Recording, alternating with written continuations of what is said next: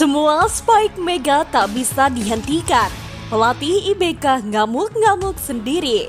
Senangnya Kohejin sampai selebrasi di spike Megawati.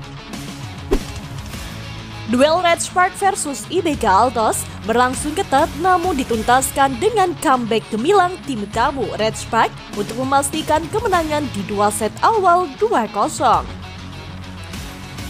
Red Spark tampil sempurna di set pertama dan menutup kemenangan 25-17. Namun di set kedua, giliran tuan rumah tampil lebih baik dan jarang melakukan kesalahan sendiri.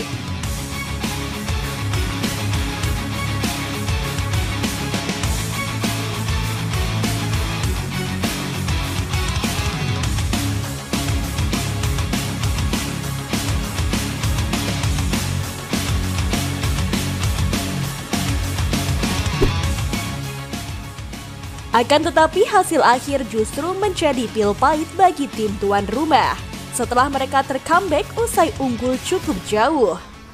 Dan di set kedua, comebacknya Red Spark dibuat atas sumbangasi darah asal Jember yaitu Megawati.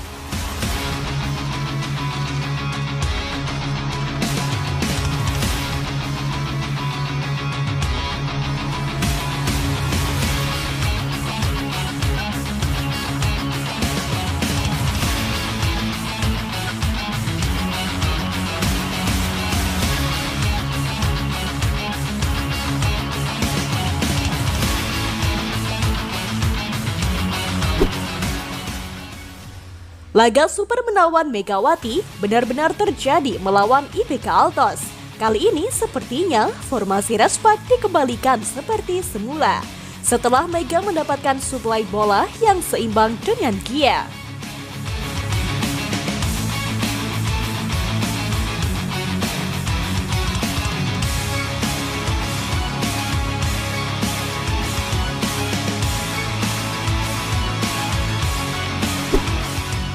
Megawati mendapatkan banyak sekali poin berkat permainannya yang menawan dan pastilah ini terjadi setelah dukungan yang tak pernah habis dari netizen Indonesia.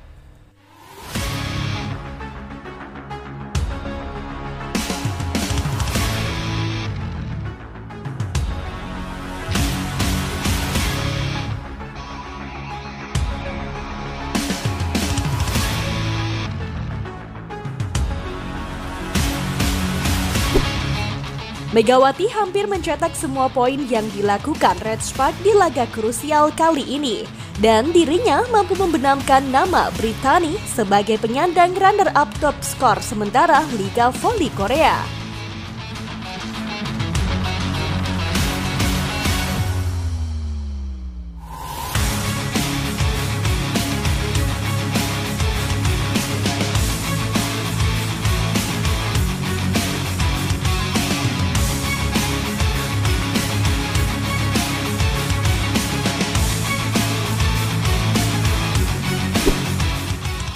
Dan hal ini memang membuat frustasinya permainan IPK Altos yang diporak-porandakan Megawati. Ia tampil begitu heroik dan berapi-api setelah sukses melakukan spike luar biasanya. Hal ini membuat pelatih Red Spark, Ko Hejin, begitu girang melihat permainan Megawati. Dan sepertinya Ko Hejin kembali mempercayakan gaya serangan lewat Megawati.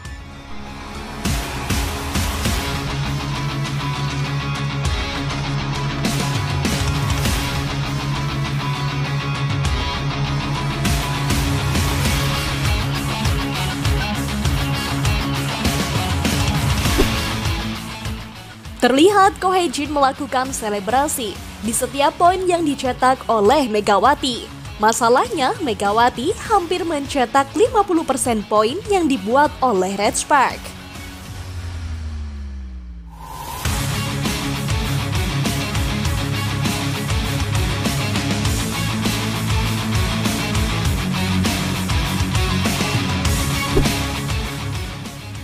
Bahkan Spike Megawati sampai headshot ke muka pemain IBK Altos. Pemain IBK Altos seperti trauma melihat Spike Megawati.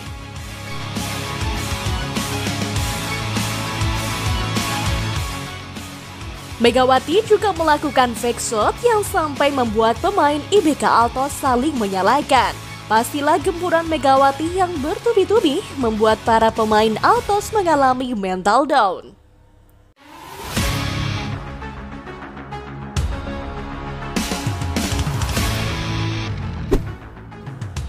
Begitupun dengan pelatih IBK Altos yang termenung karena tak bisa menghentikan pergerakan Megawati.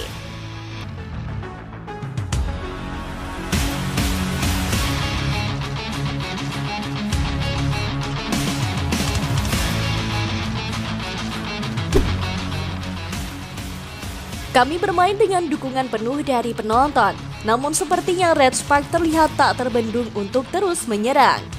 Ungkap pelatih IBK Altos. Dengan kemenangan ini semakin membuat Red Spark optimis bisa naik ke papan atas setelah mampu menggeser IBK Altos di peringkat keempat.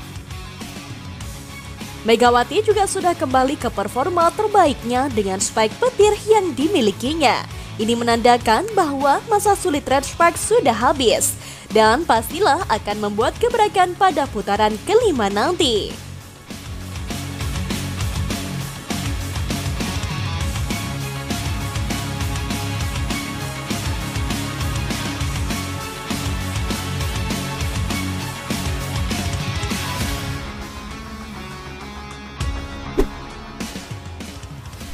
Karena setelah laga ini, pertandingan resmi voli Korea akan libur dahulu. Laga akan kembali dilanjutkan pada Februari nanti.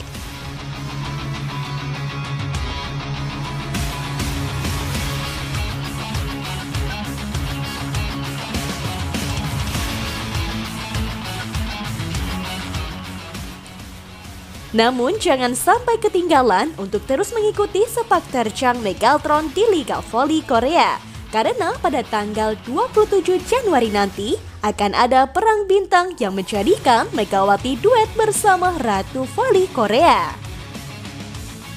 Nah, menurut kalian gimana nih gengs aksi heroik yang dilakukan Megatron pada laga kali ini? Yuk berikan pendapat kalian di kolom komentar.